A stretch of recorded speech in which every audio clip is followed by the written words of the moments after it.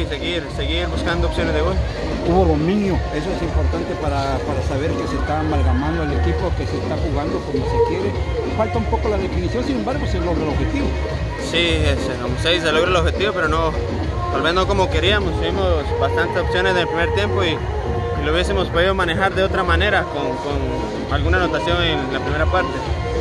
Vienen 90 minutos donde se tendrá que buscar una alternativa para poder sacar el triunfo también allá, ¿no? Sí, es, una serie de 180, llevamos la mitad y ahora allá nada.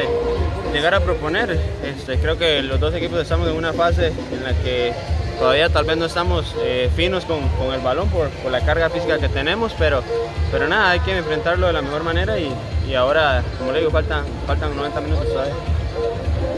Ángel, un delantero estelar que tiene eh, aquí Antigua Guatemala, venía lesionado, eh, no jugabas, pero ahora vas de titular. ¿Qué se espera de Ángel acá en Antigua?